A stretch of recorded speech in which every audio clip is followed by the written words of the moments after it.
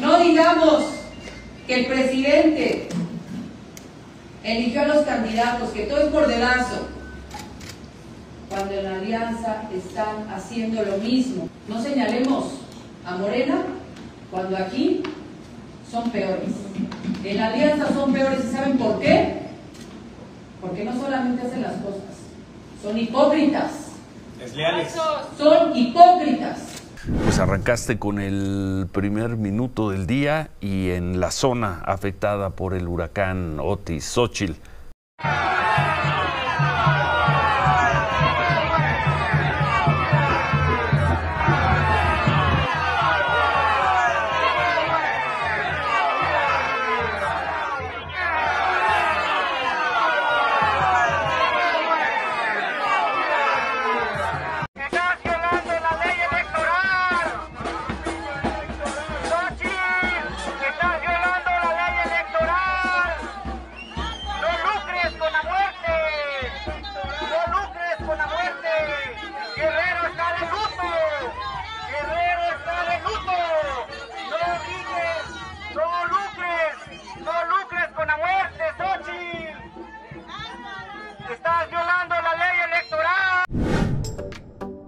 ¿Qué tal amigos? Les habla José. Simplemente José. Por fin iniciaron las precampañas presidenciales y Claudia Sheinbaum empezó en Veracruz.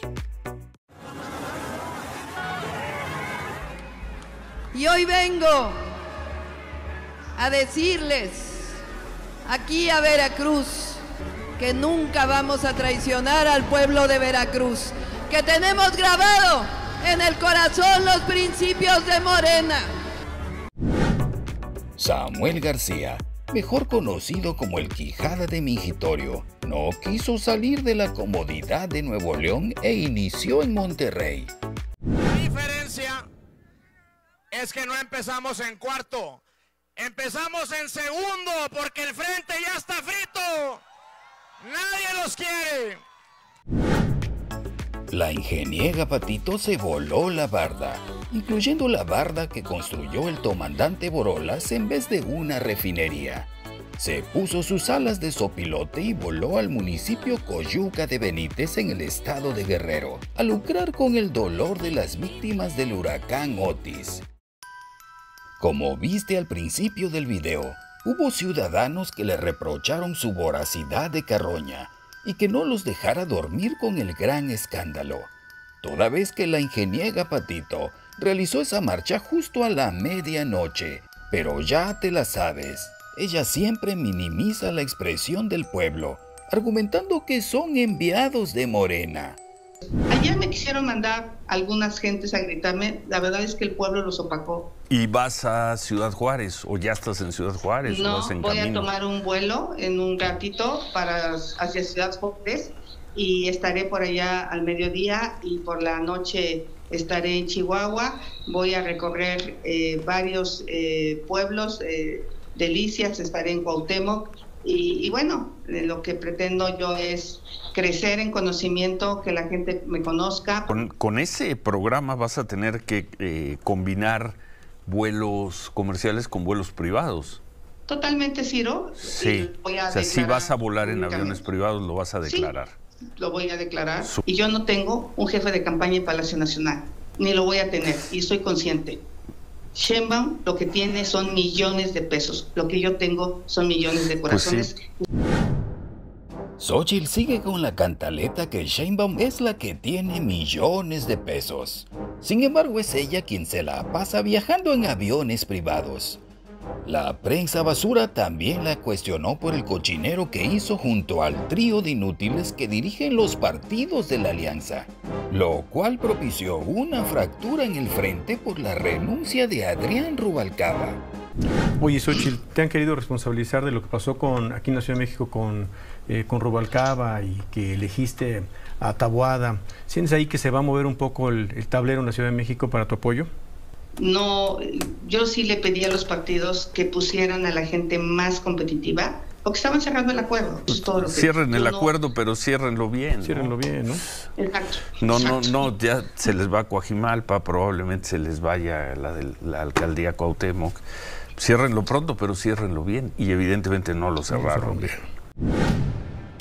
Dicen que el que a hierro mata, a hierro muere.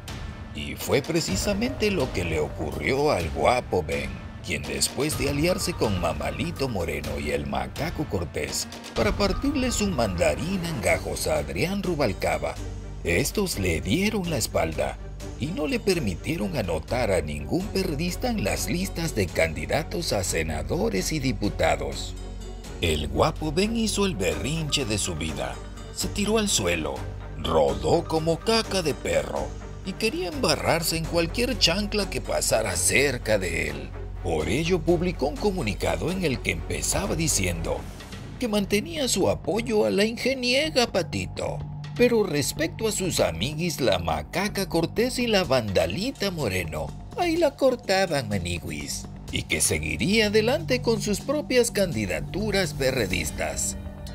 Aunque a los inútiles del PRI y el PAN les vale un cacahuate el guapo Ben, se hicieron una pregunta. ¿Y ahora quién irá por los chescos? Se oyó un silencio ensordecedor y un frío cadavérico invadió sus cuerpos, poniéndoles la piel de gallina, por lo que inmediatamente rectificaron y este 21 de noviembre firmaron un acuerdo y lanzaron una nueva alianza llamada Corazones del Mundo Únanse.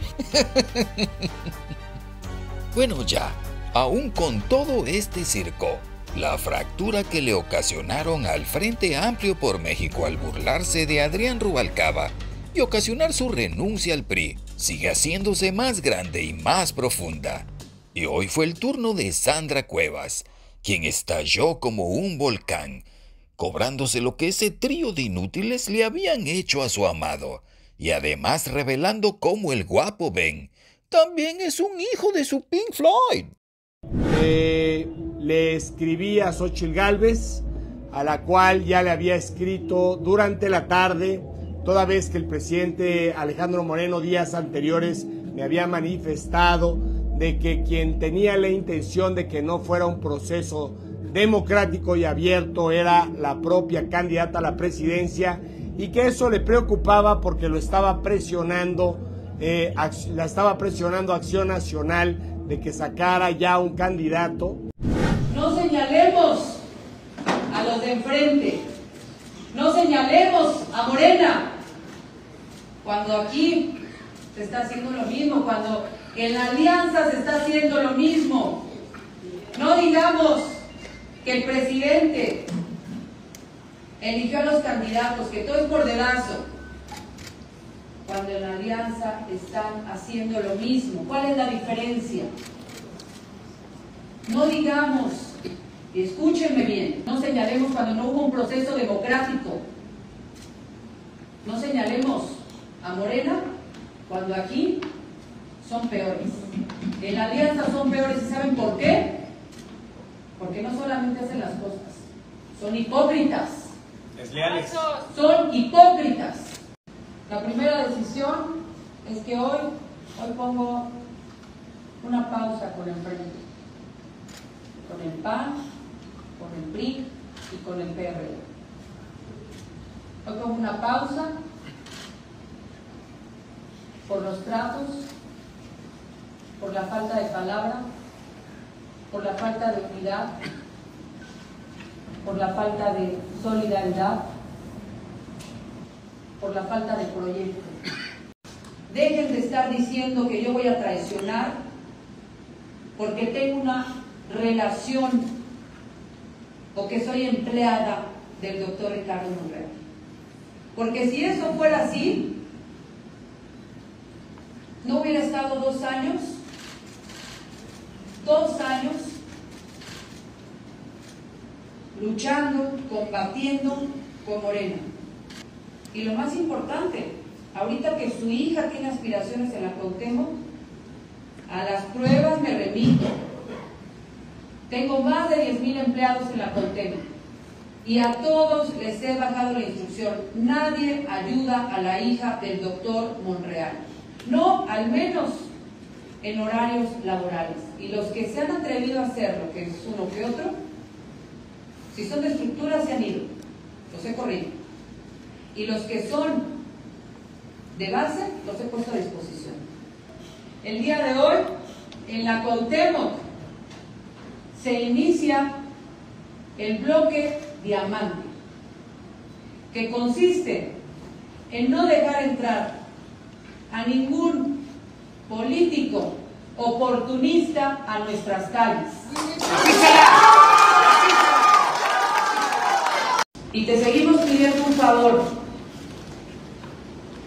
Sabemos el cariño que te tiene Rubalcaba. No dejes que se vaya Moreno. Tienes esa misión, tienes ese objetivo.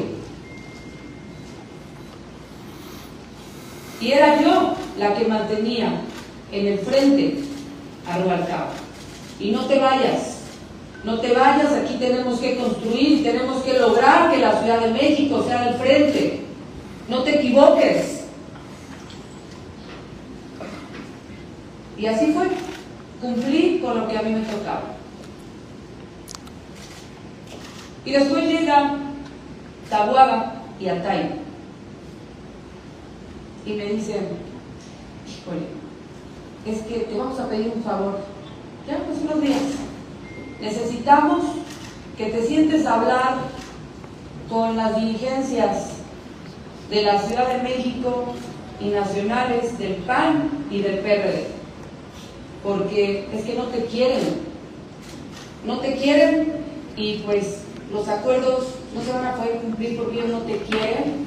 Y como no te quieren, pues no te vamos a poder subir y no te vamos a poder cumplir. Sin embargo, fui, toqué la puerta, los busqué y me senté con ellos. Zambrano, el presidente Zambrano, presidente nacional del PRD, próximo a desaparecer, me citó y como, como no podía faltar, siempre borracho. Siempre que a mí me recibió Zambrano, fue borracho.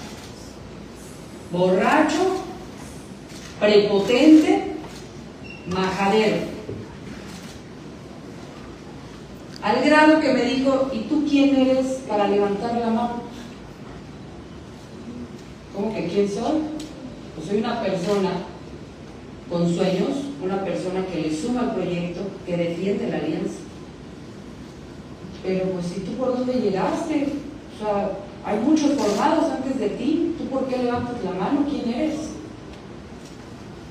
Y le respondí, bueno, discúlpeme, si Cházaro, que es más listo que usted, está levantando la mano, ¿por qué no la voy a levantar yo? ¿Qué te parece? Mamalito usó a Sandra Cuevas para engolosinar y mantener entretenido a Adrián Rubalcaba, con la promesa de una candidatura que por supuesto no tenía pensado cumplirle. La mandó a la guerra sin fusil a tratar de convencer al borrachote y prepotente Jesús Zambrano, mejor conocido como el guapo Ben, aunque Sandra Cuevas ya lo bautizó como el Chupitos. Este trío de inútiles no tienen ni la menor idea del alacrán que se acaban de echar al lomo. ¿Qué opinas de todo esto? Escríbemelo en los comentarios.